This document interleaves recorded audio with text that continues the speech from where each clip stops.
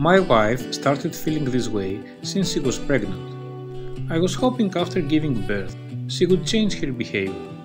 I did not understand why she reacts like that. We always wanted a family together. It's our child and we love it.